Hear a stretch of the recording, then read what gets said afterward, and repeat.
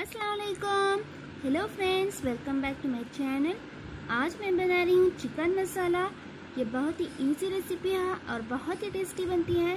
अगर ये वीडियो आपको अच्छी लगी तो प्लीज़ मेरे वीडियो को लाइक कीजिए कमेंट्स कीजिए शेयर कीजिए और सब्सक्राइब करना ना भूलें।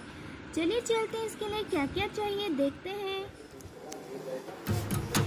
इसके लिए मैंने लिया है 400 ग्राम्स चिकन इसे मैंने धो के वॉश करके रखा हुआ है।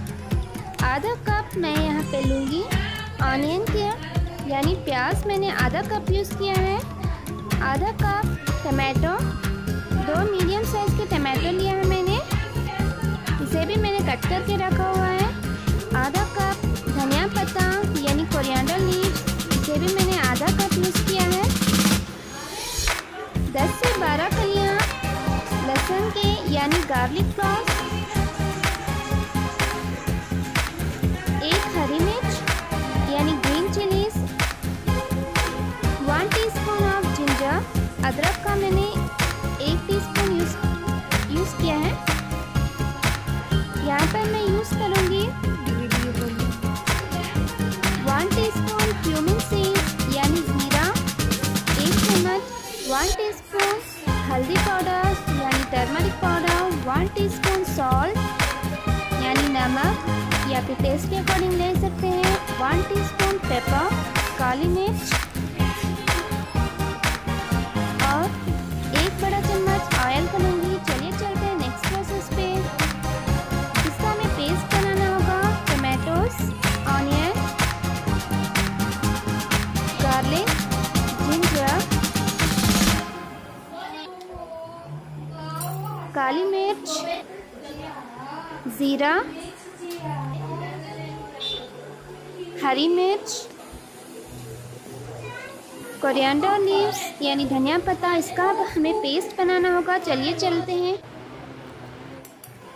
मैंने इसका पेस्ट बना लिया है।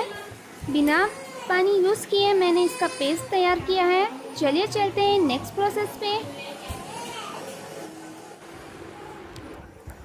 मैंने यहाँ पे कढ़ाई में एक बड़ा चम्मच ऑयल का यूज़ किया है। इसे गरम होने दें। अभी ये गरम हो चुका है, इसमें ऐड करूँगी हमारा मसाला।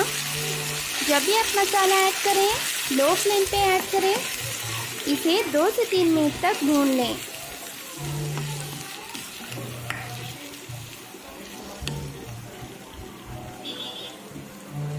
अभी दो से तीन मिनट हो चुके हैं। इसमें मैं ऐड करूँगी वन टीस्पून ऑफ़ हल्दी powder, one teaspoon of salt आप टेस्ट के अकॉर्डिंग ले सकते हैं। इसे भी मिक्स करके दो मिनट तक पका लें। अभी दो मिनट हो चुके हैं, इसमें मैं ऐड करूँगी चिकन इसे भी मिक्स करके दो से तीन मिनट तक अच्छी तरह से पका लें। इसमें ऐड करूँगी एक से दो बड़े चम्मच पानी के। अब इसे लो फ्लेम पे पका लें। 10 से 12 मिनट तक अभी 10 से 12 मिनट हो चुके हैं।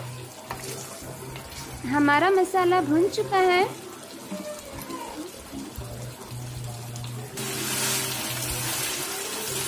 हमारा पानी एडजस्ट वाटर सूख रहा है। देखिए, अभी ऑयल सूखने लगा है। अभी ये रेडी है। मैंने फ्लेम ऑफ़ कर दूँगी और चलते हैं प्लेटिंग करने।